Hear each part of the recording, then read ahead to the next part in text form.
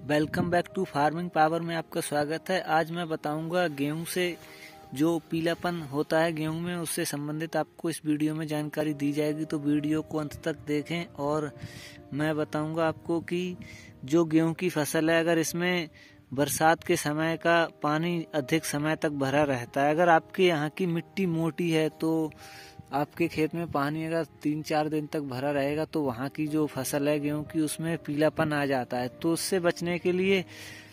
एक ही रास्ता है, हम अपने खेत से पानी बाहर निकाल दें, तभी अच्छा है, क्योंकि होता क्या है, जब गेहूँ की फ़सल में पानी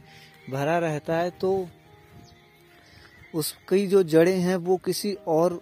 चीज़ को मतलब अवशोषित नहीं कर पाती उसमें केवल जल ही पौधे को पीना पड़ता है तो जल के अधिक भराव होने के कारण हमारी जो फ़सल है, गेहूँ की, उसमें पीलापन आ जाता है और वो काफ़ी दिनों तक ठीक नहीं हो पाता है। तो इसमें हमें नुकसान रहता है काफ़ी ज़्यादा। जैसे कि फ़सल की बढ़वार भी ख़त्म होगी और अन्य तत्वों की भी कमी आ जाती है, फिर हमें उसमें और फर्टिलाइजर्स दवाइयों का उपयोग करना पड़ता है। तो इससे बचने के लिए हमें बरसात का मौसम देख लेना चाहिए। फिर अगर बरसात हो रही हो तो हमें खेत में पानी नहीं लगाना चाहिए और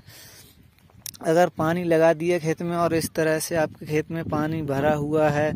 आपकी यहाँ की मिट्टी मोटी है तो अगर आपके बराबर में कोई खेत खाली है, जैसे कि किसी दूसरे का भी नुकसान ना हो, गन्ने का खेत है या फिर आपका ही खेत है तो आप निकाल सकते हैं उस पानी को तो आपकी जो फ़सल है पीली होने से बच सकती है और हमें कई जो मुश्किलें हैं वो टल सकती हैं फ़सल से। तो ध्यान रखें इस चीज़ का मौसम ख़राब चल रहा है तो हमें खेत में पानी नहीं लगाना चाहिए, क्योंकि क्या पता मौसम का क्या पता होता है, कितनी बारिश हो और कितने दिन तक हो तो ऐसे में अगर ज़्यादा समय तक खेत में पानी भरा रहेगा तो हमारे जो पौधे हैं, गेहूँ के तो उनकी जो जल, जर है, वो गलने लगती है और अधिक पानी अवशोषित करने के कारण उनमें पीलापन आता है। तो इसमें कोई भी उपाय नहीं है, केवल यही उपाय है कि आप अपने खेत में पानी ना भरने दें। इसी में आपकी फ़सल की भलाई है और आप अच्छा उत्पादन पा सकते हैं। आप जो खेती कर रहे हैं तो नेचर के हिसाब से कीजिए